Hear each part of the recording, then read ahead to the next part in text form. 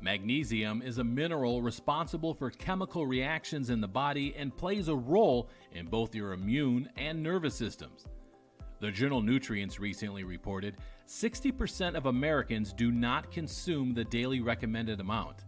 One reason for this can be society's shift from more farm based diets to processed foods. For the elderly, a lack of magnesium in their diet is even more prevalent due to the overall lower intake of food. And certain prescription medicines taken by those facing illness can also deplete the body of magnesium. Magnesium deficiency can manifest through symptoms like headaches, anxiety, muscle weakness, and sensitivity to light.